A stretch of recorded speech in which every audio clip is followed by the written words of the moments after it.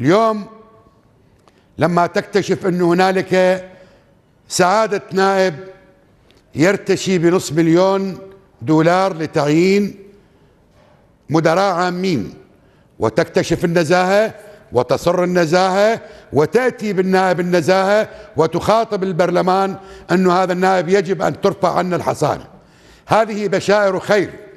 أنا من وجهة نظري بشائر خير ومقبولة شرط.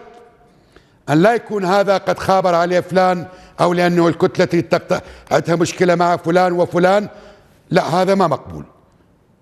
هذا ما مقبول. لكن إذا كان هذا الأمر حقا فأنا أود أن أشير إلى قضية. أنه النائب الذي يوصف بأنه ممثلا للشعب ويبتز باسم الشعب ويبوق باسم الشعب أكو مادة قانونية تعالج هذا. لكن يجب أن تسترد منه كل المبالغ التي قبضها باسم الشعب كنائب في أولى فقرات القانون والمحاكمة.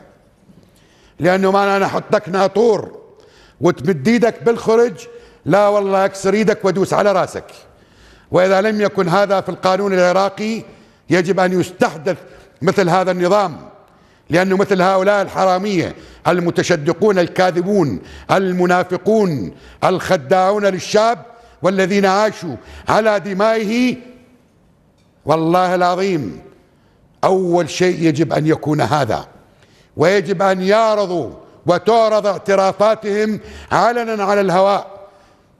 إذا ما أردنا أن نؤسس لعصر جديد هذا العصر الجديد يجب أن يبدأ بفضح هؤلاء. اللي وروا موروثنا بالتلفزيونات وبالبرامج بالشرف وبالكرامة وسيادة وهيبة الدولة. والقانون يجب أن يحترم ويحترم من الجميع. ما يصير كل من يفصل له قانون بكيفه. إذا قرار يخدمك من المحكمة الاتحادية قلت والله عاشت المحكمة الاتحادية.